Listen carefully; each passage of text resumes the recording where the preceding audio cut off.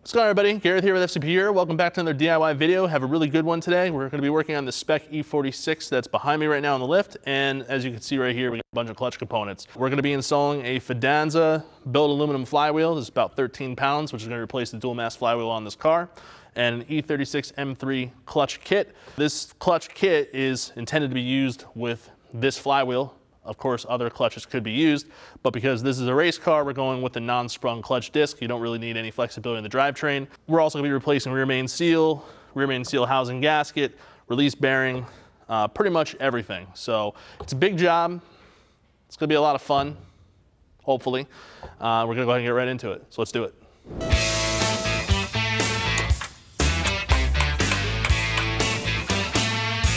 Before we get into actually working on the car, let's talk about some of the tools you're gonna need for this job. Uh, you're definitely gonna want an impact rated long extension with a swivel on it. It's gonna make life a lot easier.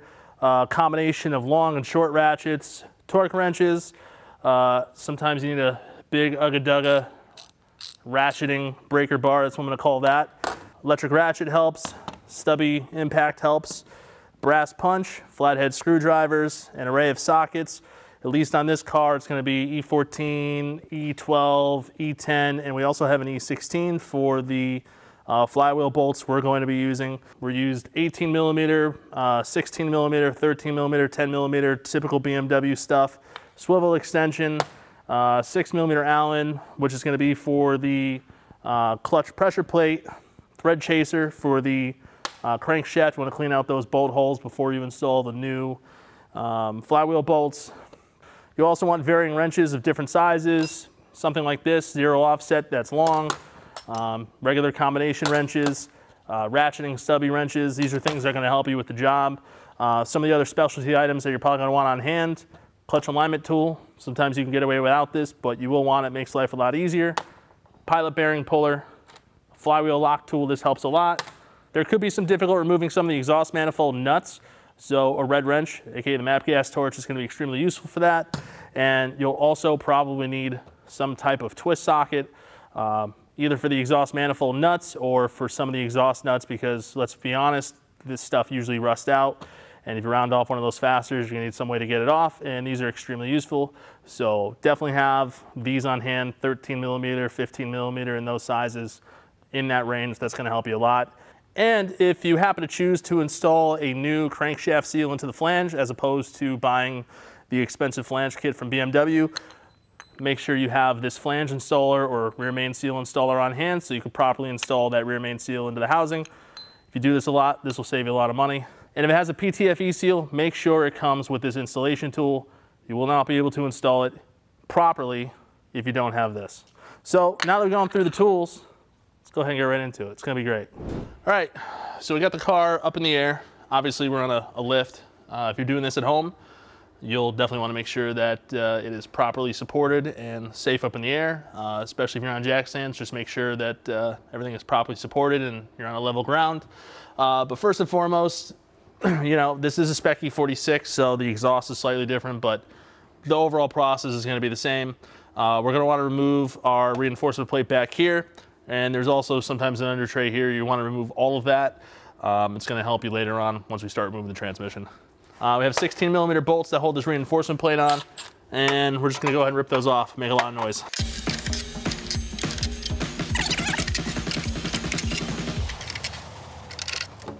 And this is the last bolt here, so you want to hold on to it. So we got the reinforcement plate off. And as with typical BMW stuff, uh, can already tell that the rear main seal is leaking, which is fine because to replace it, you gotta take the transmission off and the flywheel off, and we're doing that anyway for the clutch job. So we're actually knocking off uh, a bunch of other jobs all at the same time. But yeah, wasn't terribly surprised to see that. They all leak like this to some degree. So normally when you remove the exhaust off any of these cars, uh, the nuts, which are copper, usually seize in good pretty place. So I really recommend you have a MAPP gas torch on hand just to heat it up. Uh, heat generally loosens everything up. Uh, also, if the bolts are really corroded, or, sorry, the nuts are rather corroded, um, you'll probably want some kind of twist socket to grab onto them. Uh, normally, they're a 13 millimeter drive, uh, but if they've been on the car for you know 15 years or however long they've been on there, depending the exhaust has never been off, uh, they're usually not that size anymore. So Probably want these on hand if they're in really rough shape, and you'll definitely want the red wrench. All the hardware on this car is spotless, so I don't need to use a torch or any kind of twist socket. We have uh, six 15 millimeter nuts, uh, which hold the mid pipe to the manifolds because there's a spec E46. It has M52 or S52 manifolds on it. So on an E46, this will look a little bit different, but it's still a triangular flange. And you still have to release these three nuts.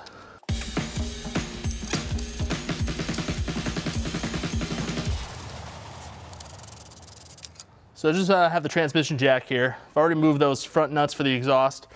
I'm gonna start removing the hangers for the rear. I just wanna make sure it's properly supported so it doesn't come crashing down. If you're doing this at home, you could use uh, a floor jack or you can use blocks of wood or if you have somebody helping you, uh, they really wanna hold on to the exhaust to make sure it doesn't come crashing down. We got four 13 millimeter nuts in the back here that hold on this reinforcement plate. This also acts as a mounting point for the exhaust, so we'll remove those. So all we have are two more nuts. They're 13 millimeter holding onto this hanger in the rear. I'm holding on to the rear of the exhaust. We have the exhaust support in the front. Uh, worth noting, this exhaust is much lighter than a factory exhaust. Your factory exhaust is extremely heavy, so be careful when you're removing the final uh, fasteners for the hangers. One of the hanger nuts was extremely rusted, so I'm gonna put the impact on it, round it off a little bit. So I'm gonna go ahead and use one of these twist sockets to get it off.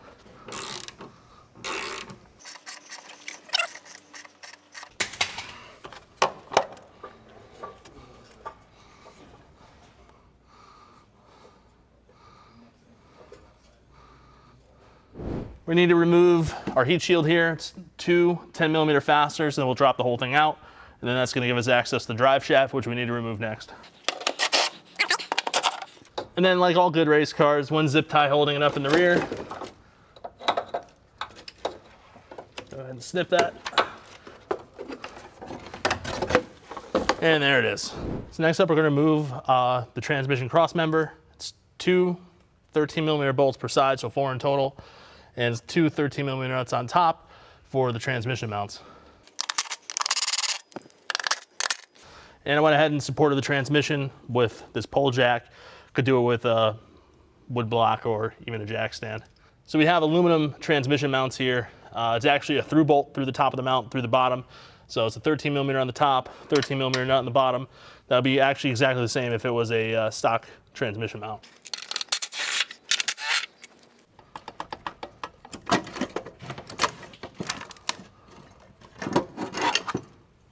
And this is obviously an aftermarket cross member, but the factory cross members are known to break on these, so that's why it would have been upgraded on this car.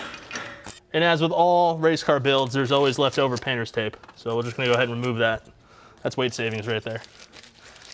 So now we have access to the drive shaft. We have three 18 millimeter bolts in the front that we need to remove, uh, two 13 millimeter nuts for the center support, and six E12 cap bolts in the rear for the CV joint on the rear drive shaft.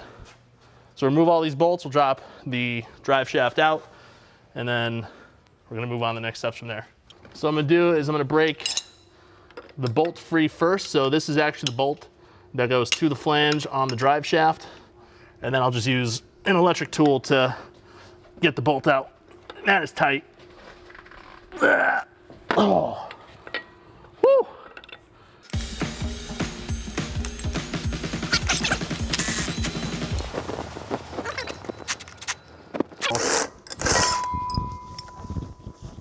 Next up, we have these six E12 Torx bolts that hold the CV joint for the rear part of the drive shaft to the differential.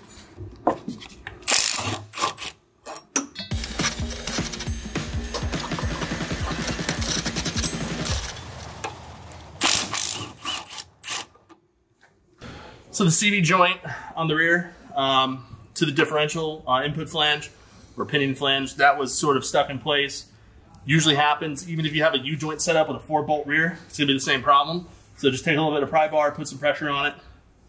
Usually the CV joints, it comes off a little bit easier. The U-joint style drive shafts, you might you need to use a little bit of penetrant and it usually comes loose. But you wanna make sure that comes loose first and then you'll be able to pull the whole drive shaft off the car.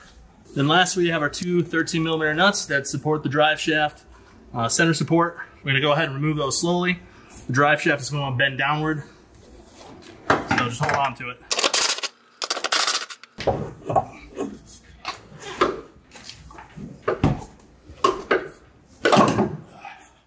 So next up, we're gonna go ahead and remove our selector rod. And we're also gonna be removing the shifter support linkage, which is right here. Um, a um, little bit different. This is held on with a 17 millimeter bolt and 17 millimeter nut. Normally it's a, it's a rod bolt that closes down on top, but this is obviously a little bit modified. However, the um, selector rod is just gonna come off like a normal one. So I got these clips, pull off the flathead screwdriver.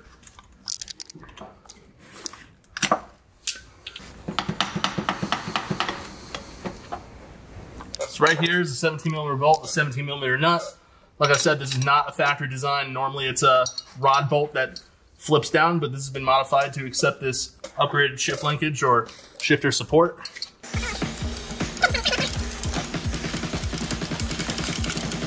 All right, so we have two 13 millimeter nuts that hold the slave cylinder to the transmission. We're gonna go ahead and remove those next. Now we'll just go ahead and pull the slave cylinder out, like so. And we'll just let it dangle. And to keep track of some of this hardware, I'm just gonna go ahead and thread the nuts back onto the studs here. And we'll just keep it with the transmission. So Bridgill's gonna leave the shift lever support arm in place. However, I just noticed that the snap ring that holds the bearing together is not actually attached. So I can actually rip this whole thing out really easy. Um, for those, most of you, this is a perfect time to refresh all the shift bushings because let's be honest, you're probably gonna be really, really sloppy. So a lot of people struggle with getting this bushing out. It's actually pretty simple. You just need two flathead screwdrivers of varying thicknesses. What you're gonna do is there's a little notch here. Uh, you're gonna go up in the notch and you're actually gonna depress the bushing slightly. So you see how the bushing flexes? There's these little tangs that kind of hold the bushing in place. So what you're trying to do is you're trying to walk the bushing off the mount. And it is a little bit tricky, I'm not gonna lie, I mean, it's still, still fight you a little bit, but this is how you get it out. So see how it just kind of rolled out there? Now we're gonna go ahead and do the same thing on the other side.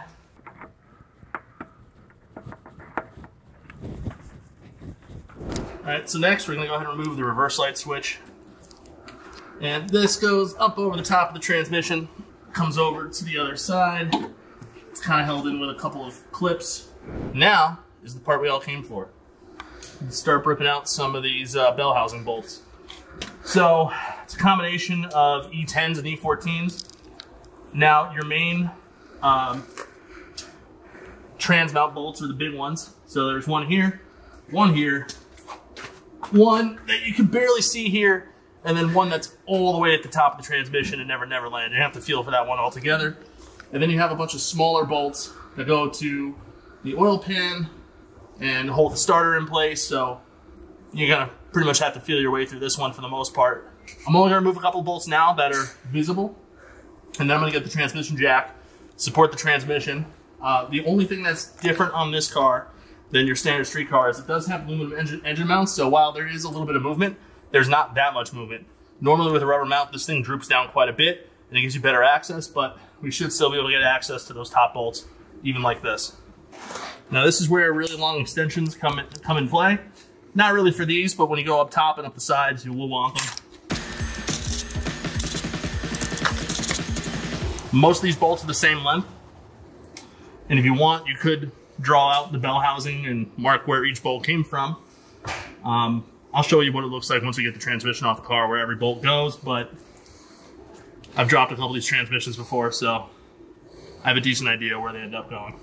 This is one of our main oh. mount bolts. This is one of the E14s. There's four of these in total. I'll go ahead and remove this one now.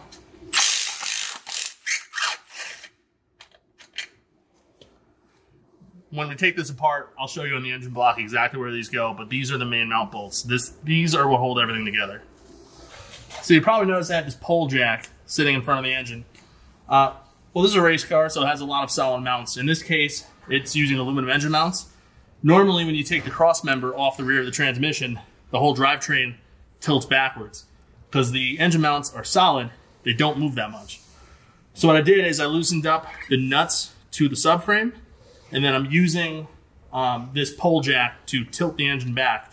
And now that I've done that, you can see everything up top. Um, you would not have to do that on any car that's using the factory rubber mounts. The factory rubber mounts have plenty of flex in them. Everything tilts backwards on its own, so you wouldn't have to do this with factory engine mounts. Last bell housing bolt.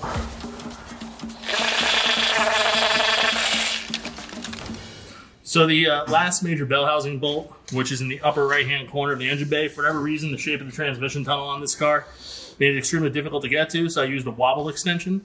Uh, normally I was using a uh, swivel extension, but just made it too long, so you're probably going to want a wobble extension for this as well, but uh, I was able to get it out using that method. So at this point, all the bell housing bolts are out. Now it's just a matter of getting the transmission out. And that's all she broke. All right, so we got the transmission out. Uh, just want to talk about some of these bell housing bolts real quick. I just went and slipped them back into the bell housing, as you can see right here. These are the two top bolts. These are the E14. And then right here and right here are the other two main mounting bolts. Those are the E14s. E10, E10, E10, and then two E12 bolts for the starter motor. Um, on some cars, there will be a little eight millimeter fastener uh, here from the backside that goes through the dust plate um, but this car didn't have that. Uh, so before you pull the transmission, you want to make sure uh, that little bolt is gone. Otherwise, you'll pull the entire plate off at the same time while you're pulling the transmission. Uh, but as you can see, transmission came off really easily. We're gonna go ahead and start removing the flywheel, clutch, all that other stuff. We're gonna go ahead and remove the pressure plate. So six millimeter Allen. Oh yeah, we got some slopperoo here. That is uh, dual mass flywheel right there, and there's zero spring to it whatsoever. There are six of these in total, and they're spaced evenly across the pressure plate.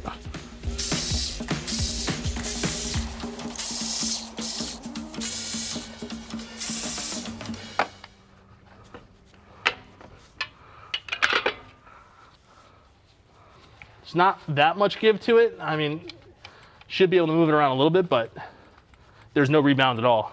So this is just straight play within the flywheel itself. All right, so we have eight 19 millimeter flywheel bolts. I'm gonna go ahead and remove them in a crisscross pattern, and I'm gonna leave one in kind of loose so the flywheel doesn't come flying off. This thing is heavy. Not trying to get hit in the head today. I've already punched myself in the face once.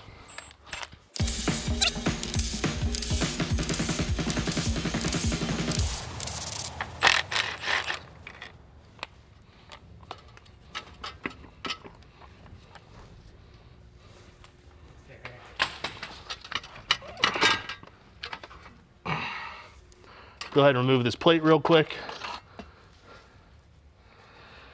And these are the two main mounting bolt holes on the engine block. Two here at the bottom, two there at the top.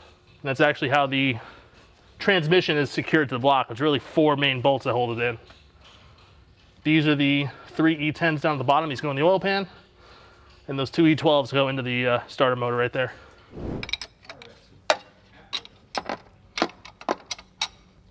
So if you noticed, while I was pulling the pilot bearing, you saw it pop, but I also had the uh, tip of this flathead screwdriver up between the jaws because what I realized here is the jaws were flexing for whatever reason, and they would slip out from the inner race of the pilot bearing.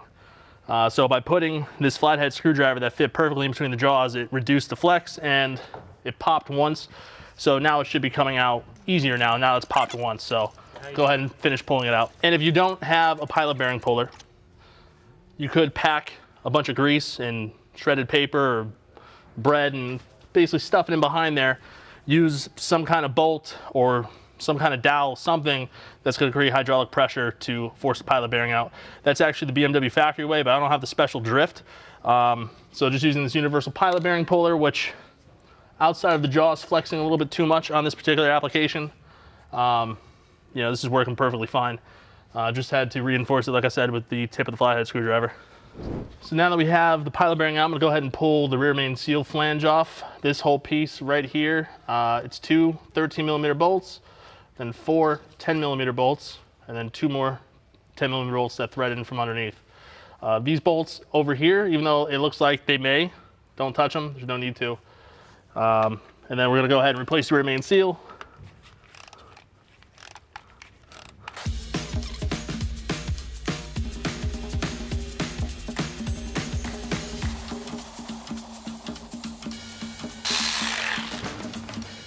Now we have all the bolts removed for the rear main seal uh, cover or housing, whatever you'd like to call it. There's two points behind where you can pry against. So go ahead and just be gentle about removing it. Could be a little bit stubborn to remove. I had to put some force into that. There we go. And then we have a gasket right here. It's kind of hard to tell. I'm gonna go ahead and peel that away from both sides. Try to get in behind it, give it a pull.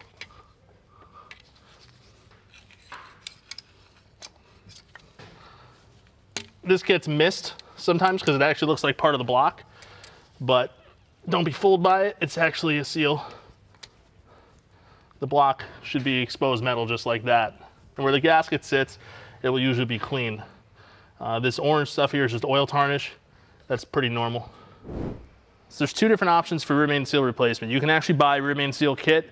It's available as a genuine BMW product that includes the aluminum housing with the seal pre-installed and the gasket that goes behind the cover and all the replacement hardware.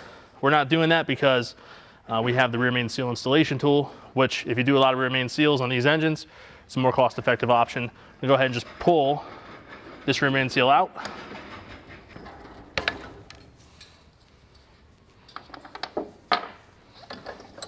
And I'm just gonna go ahead and clean this up. We got some leftover gasket material. Uh, this is like orange or red RTV. We gotta clean that up. Um, but then we're gonna go ahead and install the new rear main seal. I'll show you how to do that. So we're gonna go ahead and install the new rear main seal into the housing. Like I said, there's a kit that you know avoids you having to do this all together. I have a special seal installer, which is a uh, genuine BMW tool, but if you look at it, uh, basically this tool is designed to set the depth of the rear main seal into the flange. Uh, without this special seal driver, I don't really know of any effective way you could really do this. I'm sure you could probably use wood or something like that, but uh, this kind of removes any guesswork from the equation. Now this is a um, PTFE seal, so it doesn't have a compression ring on the inside. So before we ever reinstall it, we're gonna put the installation tool back on. That's important. So we're gonna go ahead and place our seal driver. And I'm just pushing the seal by hand. It's also important that you install these dry. Do not use any kind of lubricant. That will more than likely actually cause a leak. And then I'm just gonna go ahead and take a dead blow hammer and start tapping it.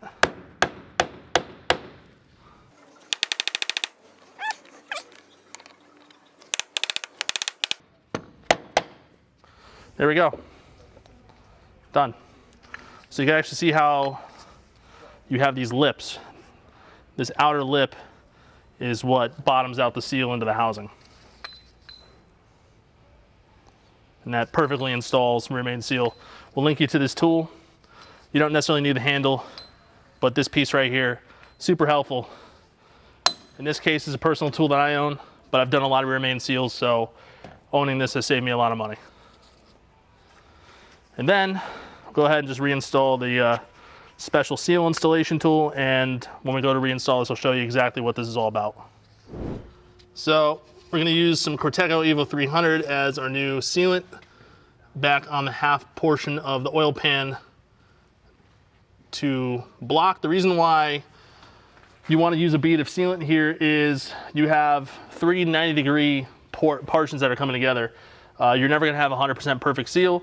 So by using a little bit of RTV to fill that void, um, you're gonna make sure that you don't have any potential leaks happening from there. So it's just a thin bead, both sides. Um, and that's pretty much it. And then we'll go ahead and put everything back together.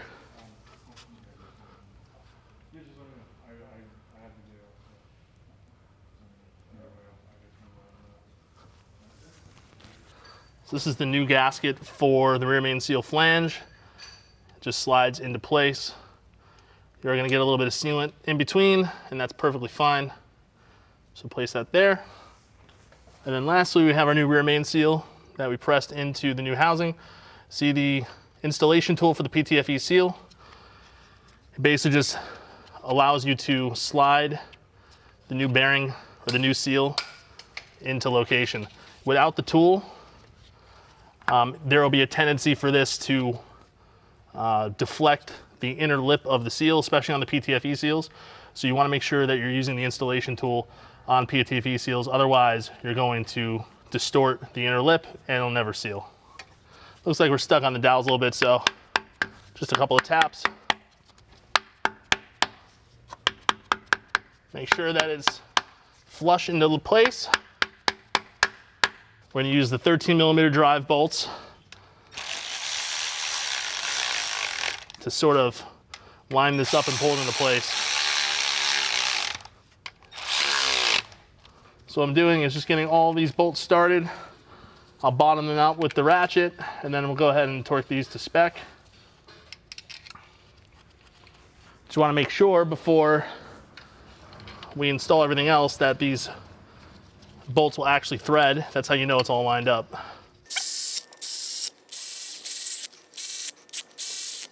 So I couldn't find a torque spec for these flange bolts in TIS. Um, so I'm gonna use BMW standard torque specs for these size fasteners. The 13 millimeter drive bolts are M8, so those are gonna be 18 Newton meters. The 10 millimeter drive bolts are going to be M6, which are 10 Newton meters. So I'm just gonna go ahead and torque them to the standard specs and we should be good.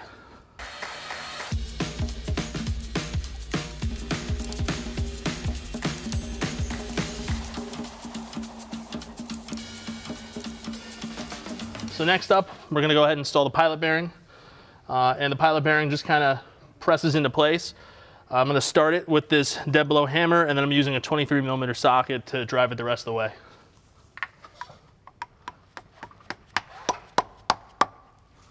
So for whatever reason, the 23 millimeter socket was a little bit too thick. Some downsizing to the 22, but that's still enough to press on the outer race.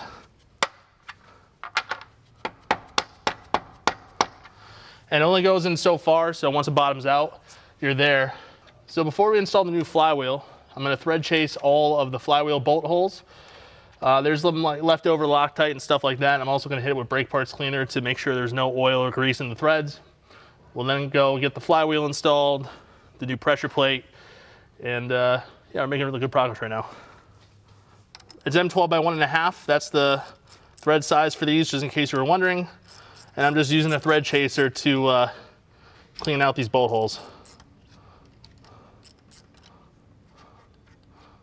Uh, so a lot of people don't do it, but the flywheel bolts are Loctited into place. Uh, the factory flywheel bolts come with yellow Loctite on them.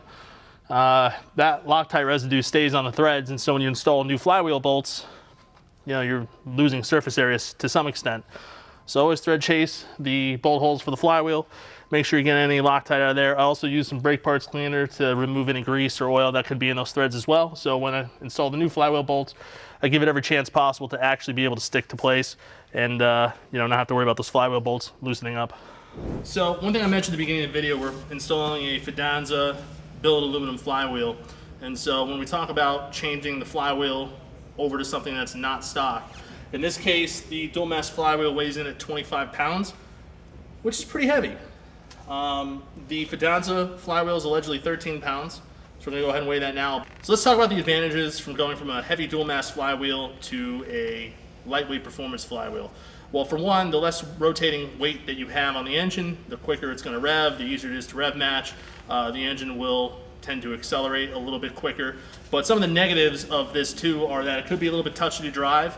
Um, on throttle, off throttle, you know, you're kind of giving up some of the momentum that a heavier flywheel would uh, basically store. And that's one thing to, to note is that a flywheel, not only is it the mounting point for your clutch, but it is also, to some degree, a momentum device. So it helps maintain engine momentum, especially at idle. Uh, since you have this rotating mass, it helps keep the engine rotating. Uh, so when you lose some weight, depending on how much weight you're losing, that's why lightweight flywheels could make driving the car a little bit more difficult along with a performance clutch. Um, so we're to see how much weight we're going to save with the Fidanza flywheel over the stock dual mass. It's supposed to be 13 pounds, but it actually comes in at 11.2 pounds. Uh, the only downside to going or losing that much weight is, you know, the, the car could be a little bit touchy on throttle, off throttle, but, you know, this is a race car. That's not a problem. And in most performance applications, you're not going to have to worry about that anyway. So now that we've geeked out for a minute, let's go ahead and throw this in. All right, Um, so now that we got the pilot bearing and the rear main seal installed, we're gonna go ahead and uh, put our flywheel back on. Before we do that, make sure the separation plate uh, is back in location. Now we're gonna go ahead and line up the machined hole on the back of the flywheel uh, with the dowel on the crankshaft. Next, we're gonna take our torque plate, put it on. Uh, Fidanza includes bolts with the flywheel, however, because we're using a torque plate that's about two mil thicker, we're using five millimeter longer bolts. These are M12 by one and a half by 35, and they have Loctite pre-applied. Um, so they will work perfectly fine. We're gonna go ahead and thread these in by hand, and we're gonna go ahead and torque them down. So yeah, these clearly do not look like BMW flywheel bolts. They're not. Uh, like I said, Fidanza includes their own flywheel bolts. However, because we've decided to use this torque plate, we needed to use a bolt that was a little bit thicker. The original flywheel bolts are M12 by 50. Fidanza includes M12 by 30 bolts. So we're using an M12 by 35, class 10.9. These happen to be a Mercedes brake caliper bolt, but that doesn't matter because it's a high quality fastener, has Loctite pre-applied, is the correct thread pitch and length. And you know, like I said, we've already measured the depth of the crank. We know how far the threads go. We know where the last uh, crankshaft main bearing journal cap is. We know that these are gonna go deep enough and everything's gonna be fine. This just happens to be the combination that we're using on this car. And if you happen to be using this torque plate, these are the bolts I'd recommend, especially with the nice thick flange there. They're gonna evenly distribute that torque load across the flex plate. And it's gonna be less likely for these bolts to ever have a chance to loosen up. So before we go ahead and start cranking these down and torquing them to spec, I'm gonna go ahead and put this uh, flywheel counterhold tool on. This will make sure that as we tighten down these bolts as well as the pressure plate, that the flywheel and therefore crank don't spin on us and we actually torque these to a proper spec. Uh, torque spec I'm going with on these is gonna be 100 newton meters. And uh, I'm gonna go ahead and torque in a crisscross pattern, make sure that it's torqued evenly.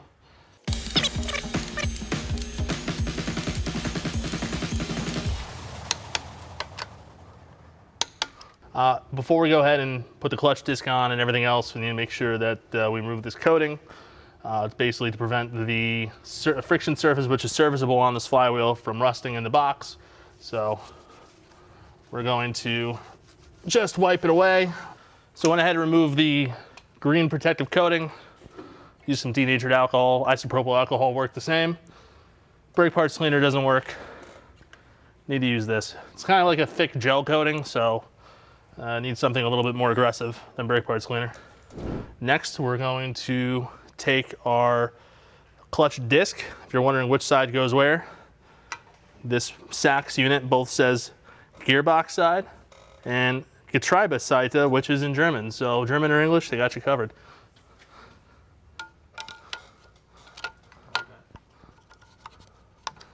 Slide in our alignment tool, which will help us maintain our alignment of our pilot bearing and the input shaft. This basically just takes up the place of the input shaft before we install the transmission. And also before installing the pressure plate, make sure you clean the pressure plate with a clean towel. And now we're gonna go ahead and line up our pressure plate with the dowels.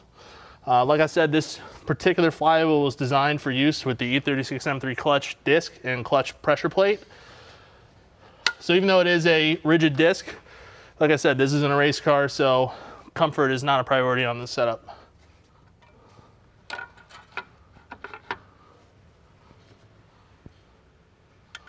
We have brand new pressure plate bolts. You should always put new ones in. Basically, I'm just putting these in loosely for now. And then what I'm gonna do is as I tighten these down, I'm gonna keep wiggling the clutch alignment tool just to make sure that this remains centered over the pilot bearing. Uh, that's gonna make it easier for us when we go to install the transmission, just make sure everything is lined up. And then once everything is torqued down to spec, uh, we'll go ahead and pull that alignment tool out as well as the flywheel lock tool.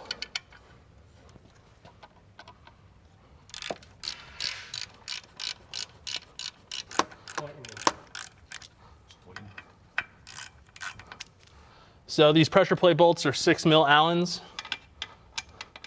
And just gonna slowly draw these bolts in. And as we draw the bolt in, uh, you're gonna see the diaphragm fingers expand.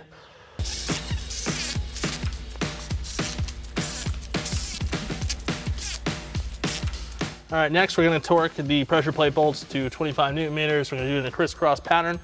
Start here, work my way around.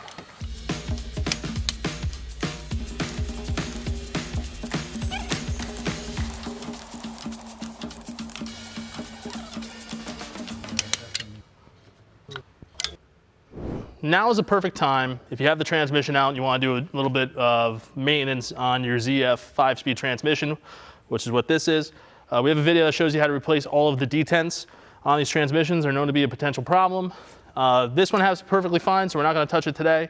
Uh, but for those of you out there that are suffering fifth gear lean or can't get in reverse, uh, go ahead and replace the detents. We'll go ahead and drop a card that you can click on, and that'll take you to the video on how to take care of that part of this job, but definitely with the transmission out, now it's time to do it. Outside of that, we need to go ahead and do a couple different things with the bell housing here. First off, we're getting rid of the release bearing. Uh, that's junk. And then we also have our clutch pivot fork here that we're gonna be replacing at the same time. And along with the clip and the pin, there's a lot of oil from the leaky uh, rear main seal. So we're gonna be replacing all of this stuff in here, clean it all up, lubricate it, and make sure that everything works perfectly fine on this car after it's done. So we need to release the clutch fork pivot pin, which is this plastic piece of junk right here.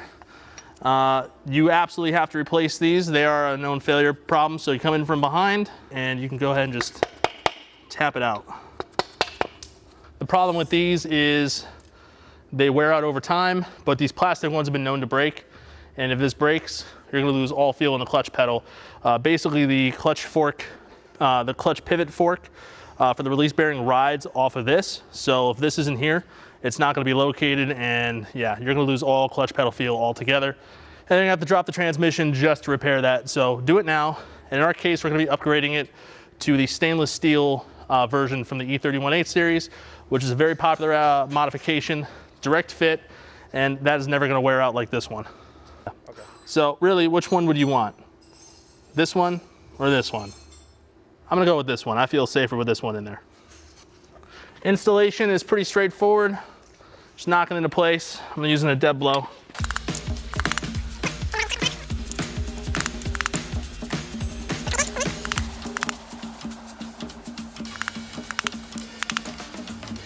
We're in. I just went ahead and used the brass punch on that. Brass is obviously softer than steel, so this is not gonna do any damage. And that's just to get it bottomed out in the housing here. The Sachs clutch kit comes with a little bit of lubricant. I'm just gonna use a skosh of it on the end of our pivot pin. You don't wanna go crazy with lubrication. I'm actually just gonna apply a little bit here now that we have everything exposed. So this right here is the where the pilot bearing is. It's gonna sit there. Uh, when it comes to lubricating your clutch parts, uh, less is more. Common mistake is to use too much lubrication and then it literally slings all over the place and uh, yeah, could cause potential problems. You don't want that. So now that we have everything here, we just want to lubricate it all. Uh, if you wanted to, you could replace the release bearing guide tube, uh, but this is, looks actually pretty new. There's no wear on it, there's no groove, so there's no reason to replace it. I also see no evidence of any leaks from the input shaft seal, which would be behind there. So we have a new clutch fork pivot pin retaining clip. This is going to just clip onto the new clutch fork pivot.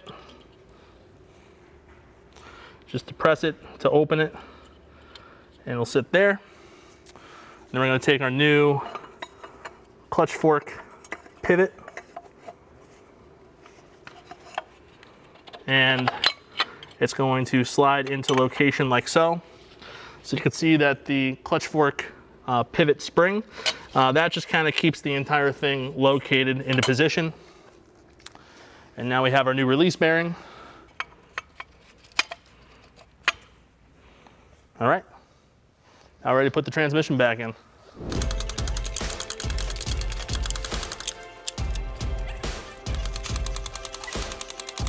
Uh, so pretty much once you get the transmission lined up, um, ideally you want the gap to be closed, but sometimes you'll get held up on a dowel uh, so make sure you have at least one of the main bell housing bolts into the engine block, and then you're gonna slowly insert the other ones, wiggling the transmission, and uh, you know eventually just evenly draw it together. Uh, sometimes you fight the pilot bearing, and there could be a slight bit of misalignment, so they don't always just go together, but shouldn't be fighting it. You shouldn't be forcing it together with the bolts. If it closes on its own, you're good to go. So I went ahead and uh, tightened up all the bell housing bolts. It's not a lot of fun. Um, the hard part is really getting access to those top bolts. So you just need to use a combination of extensions, wobble sockets, uh, swivel joints, uh, really whatever you can. You know, try to use the car to your advantage as much as possible. Like for example, uh, tilting the engine rearward. But um, yeah, everything is tightened down. Starters uh, back in. Our clutch slave cylinder is hooked to back up. There's a little bit of a bracket up here that needs to be secured uh, with the clutch slave cylinder to the transmission, so just make sure you do that. And uh, really at this point, uh, the focus moving forward is going to be uh, putting the shifter back on, uh, putting the transmission mounts back on, uh, tightening up the engine mounts, drive shaft back in, exhaust back on, and then pretty much done.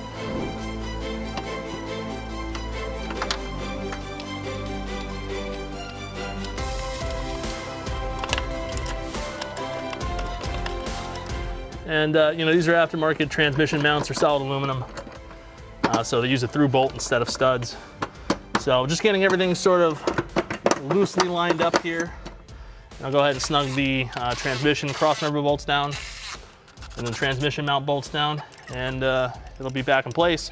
That'll do the engine mounts next and then we'll work on the shifter, drive shaft, everything else.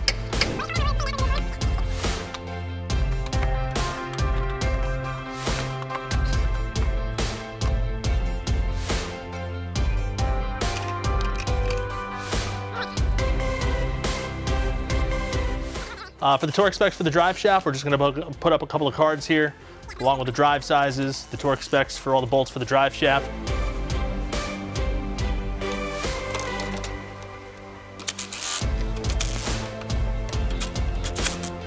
Drive shaft is in, heat shield goes up next. After heat shield, we'll throw the exhaust on and the reinforcement plate for the front subframe, and we're done after that.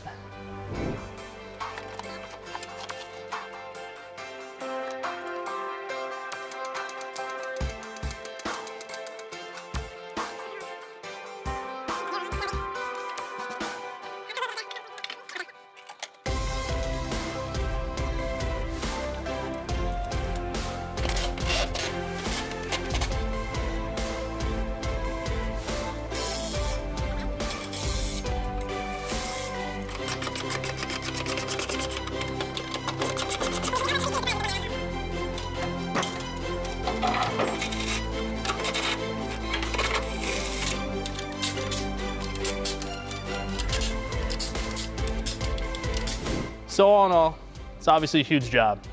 Clutch job is never gonna be easy. You do need some specialty tools. Uh, if you're working on the car on the ground, on jack stands, this is obviously a lot more difficult than it is on a lift because it's still difficult on a lift even with a transmission hoist and pole jacks and all that kind of stuff. Now obviously you're working on a race car, so there are a couple things that were different like the engine mounts and, and you know some other modifications that we had to work with that would be a little bit different on a standard street car. But all in all, pretty smooth process for the most part. You know, like I mentioned, we were using uh, different flywheel bolts because of the fact that we had a torque plate. We needed to compensate and make them longer. Uh, chose to go with uh, those E-Torx M12 by one and a half by 35 bolts. They work out perfect. Really like how that turned out. Uh, everything else after that point went pretty smooth. But yeah, you know, for the most part, um, the same process is gonna carry over onto a lot of other different BMWs. Uh, E36, E85, E86. Actually, this process is gonna be very similar for any straight six BMW in terms of at least how the transmission is in there. So you can use this as a guide even if you have a newer car. Uh, but overall, hope you liked the video, hope you learned something. If you have any questions or comments, leave them in the comment box below. If you like the video, hit that like button. Also hit subscribe, we got a lot more DIY videos on the way. And with that, I'm pretty tired and I wanna go home and go to sleep. So I'll see you later. Peace.